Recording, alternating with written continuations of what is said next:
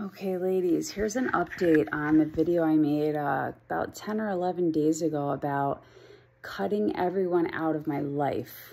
So it's been about 10 days, 11 days, and I'm still with it. I blocked everybody. So a whole bunch of people I'm not talking to. Um, I haven't been updating my status on WhatsApp. I haven't been looking at anybody else's because everybody's blocked. I'm like completely disconnecting myself from a whole group of people trying to give myself a new mental diet because I'm trying to get to the next level in life here.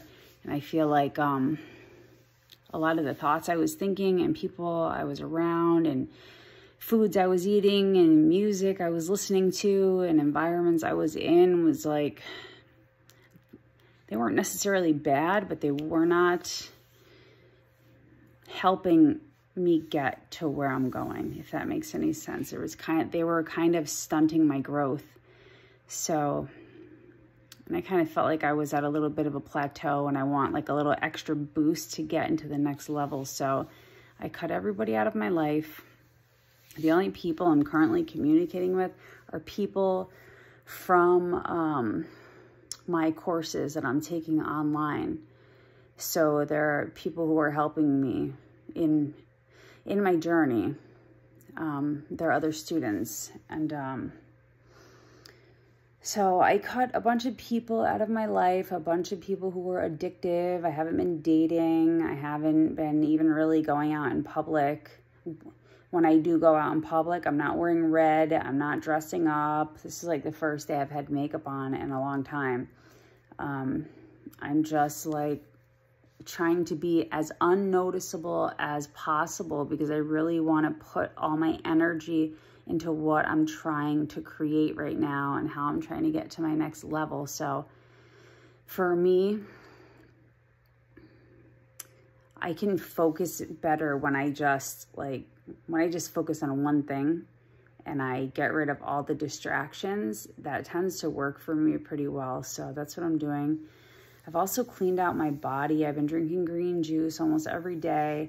I'm not eating any meat right now. Um, I'm basically on a vegan, maybe a little bit vegetarian diet because I am still having Greek yogurt. I ate a couple eggs the other day too. But um, other than that, I'm really, I'm eating all plants all plants all day long. And I'm also not having any sugar and any flour. That's not new to me though. I mean, I haven't been eating sugar and flour for a long time, but I'm back to weighing and measuring all of my meals just to get my mind in a really good, disciplined, controlled state where I'm not taking too much pleasure in certain things. Like for me, food is a really big pleasure. It's a very compulsive thing that I can get into. And um, right now I really want to focus on what I'm trying to create. So I'm being really strict with my food. I mean, I'm eating a lot of food and I'm eating really healthy, but I'm not eating more than I'm supposed to. I'm not eating at wrong times. I'm not just like mindlessly walking around, like picking up different snacks, even if they are healthy. I'm not even doing that. I'm eating certain things in certain amounts at certain times just to get my brain nice and focused and just, you know, I'm being really careful with music too. I know that music is very influential in my brain. Like, I may not even realize it, but like, I'll be somewhere and I'll hear a song and it'll just kind of change my brain chemistry. It'll change my line of thinking. You know, I may hear a song like from 20 years ago and it will bring me back to that time period, which when I'm trying to focus on what I'm creating, I don't need the distractions of old memories or, you know, old periods of time in my life. Um, what else am I doing to get myself nice and focused? Um, I did not go to the Dominican Republic this month. I always go on the first. I actually, um, I changed my ticket. I canceled my flight. And uh, I didn't want to go there because I know how I get when I go down there. Everything is just so free and fun. And I live a very unstructured life there, which is great. It's fine, you know. it's, you know, it's good for my feminine side, but the downside of that is I don't go to bed on time. I stay up late. Um, I hang out with people that may be vibrating on a lower frequency than me. Um, um, I can't always find the healthiest foods when I need them. So I'm eating like a bunch of fried cheese like three times a day. And, you know, not like the worst foods in the world, but, you know, you do that every day or every night. I'm eating fried cheese every night before I go to bed. I'm going to bed at all different times, sometimes five in the morning, sometimes one in the morning. It's like there's not a lot of consistency. Just, you know, just like throwing my body off its rhythm. It's very loud there too. Everywhere I go, there's music playing everywhere. And music, like I was saying before, it can really influence the mind. Not that the music is bad, but it's, you know, it is like one set of thoughts that I get from certain types of music. So it's not necessarily peaceful or tranquil or helping me to get into a meditative state. It's for fun and partying and being happy and having fun. And then all the lyrics in the music are about love and romance. Like 99% of Spanish songs are about love and romance. And there's nothing wrong with that, but I'm trying to get to another level here. And I've cut a bunch of people out of my life right now and I and I've blocked them and I'm not trying to think about love and romance and boys and other distracting things right now. So being around that kind of music is just going to remind my subconscious mind of those things I'm trying to not do right now because I'm trying to use all of my brain power and my soul power and my manifesting power and just I'm trying to use everything I have to get me to the next level and I don't want any of the energy leaking out in areas I don't want it to be right now. So um staying away from the music. So I'm going to the gym every day. I'm doing yoga every day um, trying to be less noticeable in public because they do not want to attract any type of sexual energy towards me right now. Um, my food is really disciplined and really super healthy. I'm getting a lot of nutrition in my body right now. I'm just, in the past 10 days, I've just been detoxing off of validation. Validation from men, validation from other people, the validation I get whenever I post new photos and, you know, new. I didn't say nude. I said new, new, new photos on my WhatsApp status so all my friends in the DR can see it and say nice things about me. Be like, oh, you look so pretty. And, you know, like, all those things are great and fine, but they're also distracting. And it also puts me in a very outward focusing kind of mindset where I'm getting praise from a lot of people outside of me. Okay, from their words, like when I go out, when I spend time with friends down there, when I go on dates down there, there's all this outside validation coming towards me, and that's great and fine. But the more I get from the outside, the less I have to come up with my own validation from myself. It makes it very easy for my own internal validation muscle to just not have to work. Like she just, she's like, oh, we don't need to muscle up here because we're getting plenty of validation from other people. And she gets weak and the muscle is not exercised and it just kind of goes dormant. So the practice I'm doing right now where I'm getting all the validation out of my life and just like kind of ridding myself of all the things that surround that, at least for now, because I want to build up my own validation muscle inside and just clean myself and purge myself. And, you know, like I'm purging my body of toxins, I'm purging my mind of toxins at the same time. And, um, you know, I've, I've noticed, um, this past week, I've had some really rough moments where I just just felt like I was gonna just start crying. just wanted to start crying. Couldn't even tell you exactly, exactly why, but like, it's just the feeling of like wanting something, wanting to go and grab at something, this thing that makes you feel good and makes you feel comfortable and gives you a nice dopamine hit and a serotonin hit and an oxytocin hit.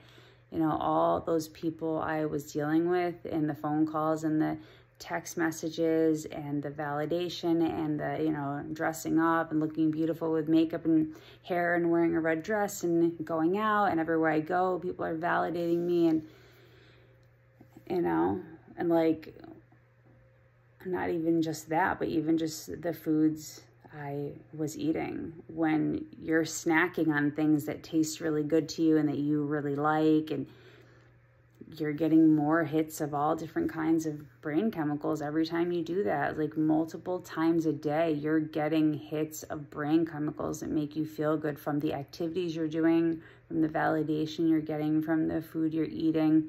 And when you take all that away in one swoop, you feel like a pain inside yourself because you want that stuff you want all that stuff back in your life and you're telling yourself you can't have it right now and you just you feel like this fussy little whiny child inside of you and that's like no i want my stuff. I want my thing. It makes me happy. You know it's like i feel that happening inside of me but i'm disciplining myself right now and i'm cleaning myself up. Not that that stuff is bad. It's not bad but you can't just overindulge in everything that feels good all the time and say, oh, I'm just being feminine all the time. It doesn't work well. It does, if you know how to balance it, me personally, I'm not great at balancing it yet. I'm still figuring that out. That's why I have to do what I'm doing right now to clean up some of the messes I made because I was being way too feminine for a little too long and I, I gained some weight I messed up my finances because I was just feeling all feminine and happy and just, you know, swiping my credit card. And, you know, that's not really something I do anymore. That's something I stopped doing a long time ago. And my feminine journey has like made me do some old habits that I had stopped doing a long time ago. And, you know, I started getting kind of messy with my food and, you know, not really watching what I was eating and the weight started to slowly creep up on me. And then, you know, I'm going out all the time because I'm just being feminine and having fun. And, you know, every time you go out, what happens? You have a glass of wine. And, you know, after a couple weeks of that, you know, you've had a lot of wine. Now your body's all swollen and bloated and your face is getting fat and you have, you know, like a double chin now, you know, and you, you know, your belly is getting just full and bloated and you're just, you know, my ankles were getting fat, my feet were all swollen. It's just, I started feeling comfortable in my body. I wasn't sleeping right. I was missing some of my dance classes and some of my online classes, just not really journaling, just my speech class every day. I'm supposed to log on in the morning. I'm missing multiple of those because I was staying up late, so then I was sleeping in late. Just, you know, life was just getting kind of messy because I was just being like overly feminine and just having like too much fun. And once you're doing that for a while, it's not even that much fun after a few days. Like, it's like I'm messing up my whole life to do stuff that's not even that much fun because I've been doing it too much. So I'm just like resetting myself now. It's about day 10. I did have some days where I just felt like I was going to start crying. I thought I was going to fold a few times and just go eat whatever I wanted or, you know, just go out somewhere and have a drink and like just get social with people and, you know, put on like a red dress and go out and have people tell me how amazing I am. Like, no, if I go out and do that, I'm going to mess up what I'm doing. So I've been, you know, I've still been enjoying my life, but just in a different way, in like a quiet, tranquil, private kind of way. I'm not just like sitting like a hermit in my house. Like I'm going to the gym and, you know, I'm doing a lot of work. Like inner work, self work. I'm talking to people from my online courses and, you know, I'm working on stuff like that. You know, I'm doing stuff inside of my house and, you know, there are moments I just want to like go and unblock a couple people and just, you know, hear their voice and talk to them. But I'm like, no, no, no, I'm not going to do that. I'm not going to do that. One, because it's going to mess up what I'm trying to do. And it's going to put me back in the mindset I was in 10 or 11 days ago, which was not the mindset I need to be in to get to another level. I need to be clear minded and uninfluenced and on a good, strict mental diet, manifesting the things I want to create. And two, a lot of the people I was dealing with don't have much of a purpose for me other than having fun right now. There's like really no future or anything significant that's going to come out of it, which almost makes it almost a pointless relationship, you know? Not that like the people are bad, but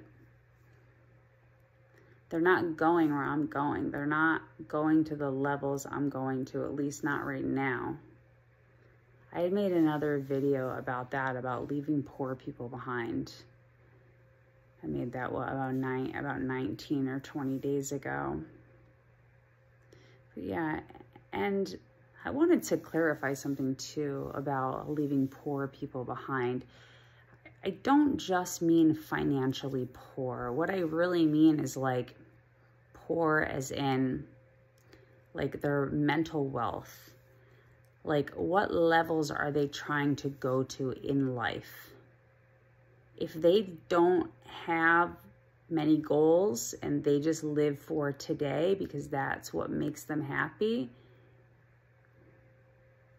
or they're just kind of content with not going further than where they are, I would call that poor.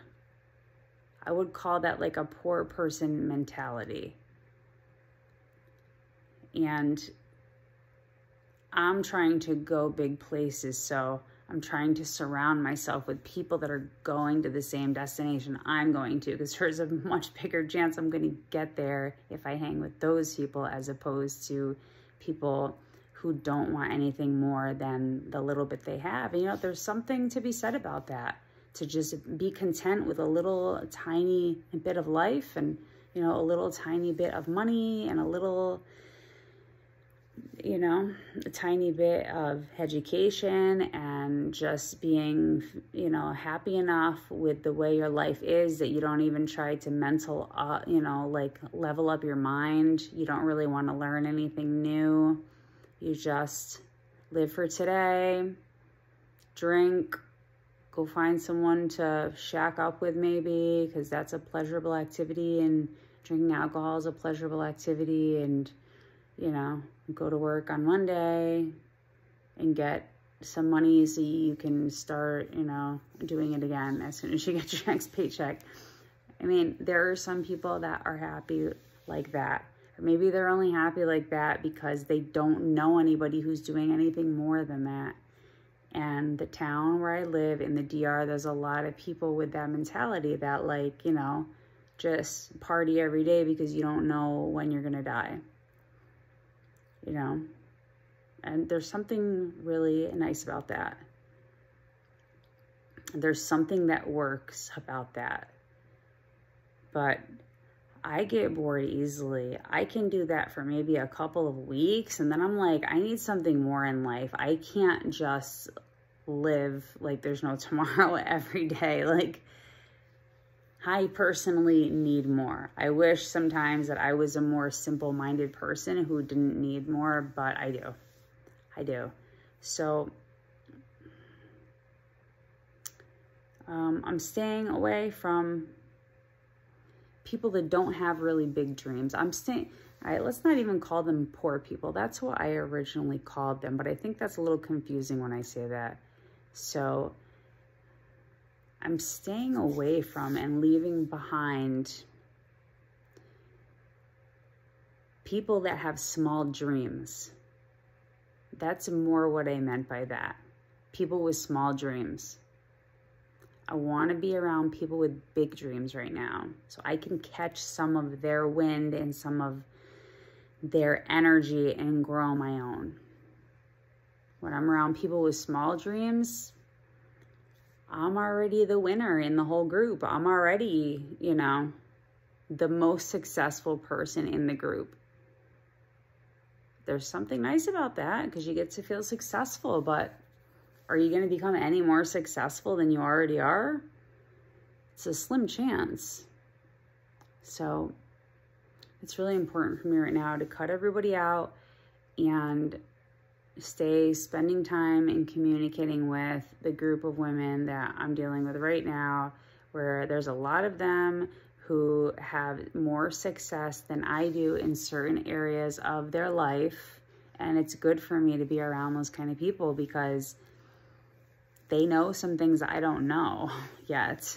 And if I'm hanging out with them, they're going to teach me some of these things. You know, I get to have intelligent conversations with them where I can ask them questions and I can learn new things I've been wondering about and wanting to know about, or maybe things I've never even heard of that I can be like, oh my God, I'm going to use that in my life. That sounds amazing. You know, when I hang with my poor friends or my friends with small dreams, you know, there's not even a whole lot of talking it's usually just dancing and, you know, yeah, dancing, like small talk, but nothing deep. Like we don't talk about a whole lot of deep things. And the few times I have accidentally started talking deep with them, I literally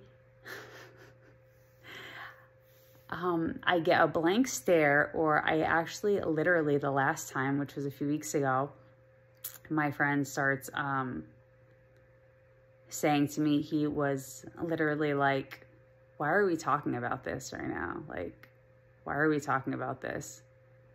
I was like, What do you mean? It's like, we're talking about like what's inside of me and it's important. And like, I could just see he just he was like, well, why would we even be talking about anything like spiritual or in depth? It was very weird that moment. I'm like, wow, this person really doesn't even care to get to know me. Now that they're getting to know me in this moment, I can tell that they don't even actually like who I actually am and who I'm trying to become. And then I went back to just talking about easier stuff and then everything was fine. And I hung out with this friend for a couple of days and I started to feel really bored, I guess, because we were only having interactions and conversations on his level. And because that was a level I passed many levels ago, it was like I was in high school and somebody put me back in the first grade. Yeah, it's easy, but it's boring and pointless. And you're like, I already know how to do all this. This is like, I passed this grade a long time ago. And um, yeah, so I don't know. So anyway, yeah, I didn't go to the Dominican Republic. Um, probably going to go back December 1st. I'm going to see where I'm at mentally then. If I do go back on December 1st, um, I think I'm going to go somewhere far away from my town again. I always wanted to go to Monte Cristi that is it's on the north coast and it's um it's like right next to Haiti. It's a really beautiful place. I've never been there myself, but a lot of people have told me about it. And it's a very quiet place. It's like a it's like a small town and it's quiet and the people are not party animals there and it's far away from the airport so there's not even a lot of tourists or anything like that. And the beaches are really beautiful. Um, as long as I could find a place to stay, stay with really great Wi-Fi, I think I'll just go there and just spend a couple weeks and, you know, be very quiet and peaceful and I won't know anybody over there and I can just be in nature and there won't be loud blaring music. And as long as I can log on to do all my all my online stuff and I'm sure I can find a, um, a dance teacher out there so I can keep up with my dance lessons. You know, I like to go to dance lessons every day, but I'm sure I can find like a dance teacher or somebody to see me a couple hours a day.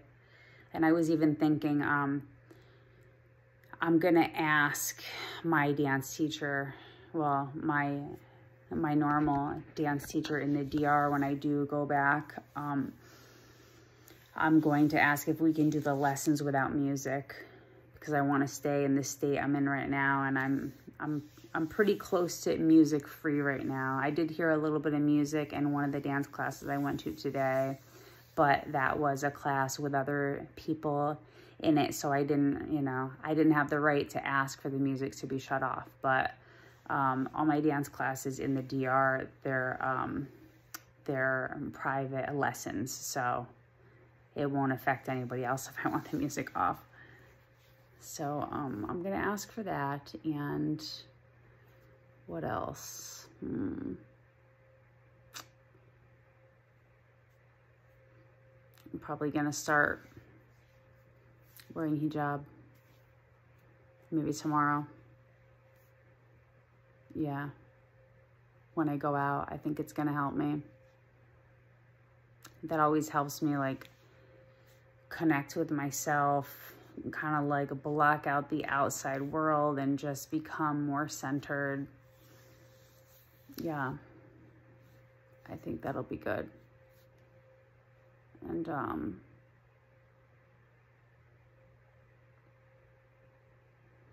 I should start praying five times a day again. It's been a while. Yeah, you guys will definitely know when I'm praying a lot because you'll never see me with makeup because every time I pray, I have to like wash my face first. I gotta wash all my makeup off anyway. I'm not putting makeup on five times a day. That's for sure. So.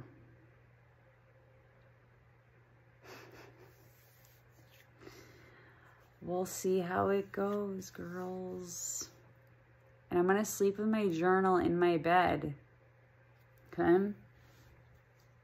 So that as soon as I wake up, I can start journaling. I've been trying to meditate when I wake up in the morning, but I don't want to sit up to do it because it hurts my back. So like I'm still just laying there trying to meditate, but then I like kind of fall back to sleep. I don't know. There's got to be like a better way to meditate. you know, I'm just going to start, like, I feel like listening to meditation videos while I'm meditating for some reason, I feel like that's not real meditation. I'm probably wrong. Because that just seems too easy. But maybe that's just, I just need to suck it up and just realize that I'm, I'm at a place, you know, I'm a beginner and I need a guided meditation. Because for me to just sit there and meditate all on my own, God, it's like torture. so maybe I'll find a, another good guided meditation. I just like dread meditating. I don't know why. It's supposed to be fun and relaxing, right? I don't know. Well, anyway, girls, that is my update on cutting everyone out of my life. Wish me luck. I don't know if I'm going to be able to do it for a whole entire month, but I'll be happy with myself if I do it for two whole weeks or even three weeks. Wow. I'm a little bit afraid that once I go back into the regular world that I'm going to get sucked into it again and I'm going to lose my connection with God because when I'm like this, when I cut everybody out and I cut out the bad foods and like I'm being really healthy and I'm staying away from, you know, so many things, even music. I can connect with God. I can connect with my higher self, and a lot of things become easier. But I feel like, how can I stay like this forever? One day I'm going to have to go back. This is so unrealistic. But is it unrealistic? There has to be people in the world that live like this all the time, right? Or at some point, I'll just get so good at staying connected to God that it won't matter what's going on in the outside world or what music is on or, you know, what else is happening. I will still maintain that connection. I won't get cut off. That's that's probably how that works, but I don't know yet because I'm not there. But Okay, that's it. Bye for now. Talk to you girls later.